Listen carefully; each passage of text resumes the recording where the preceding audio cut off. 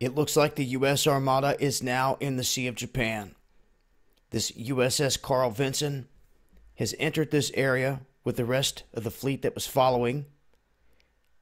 And to give you an idea here, real quick, you can see here's Tsushima. They went through the Strait of Tsushima, through here, into the Sea of Japan. See the Yellow Sea here, Japan over here. This is where they're at. They're right there at the Korean Peninsula. Now, this drill involves South Korea. It also involves Japan. We have a French helicopter carrier, France's amphibious assault ship arriving in Japan as well. So we have more and more ships showing up in this area. They can say that it doesn't coincide with everything else going on. One thing's for sure they're mounting up pretty big in terms of military force in the Sea of Japan. As I said, this is expected to go on throughout the week.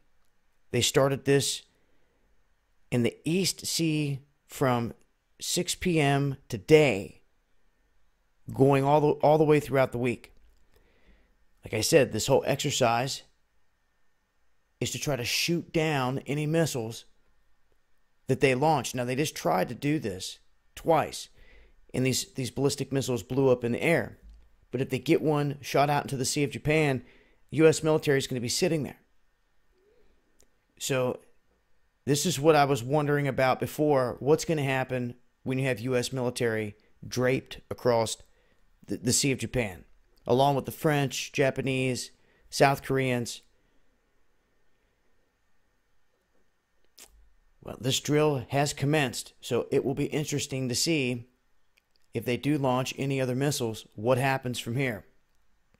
But I wanted to make note that this armada is in the Sea of Japan, right here off the coast of the Korean, Peninsula, with a lot of different militaries with them.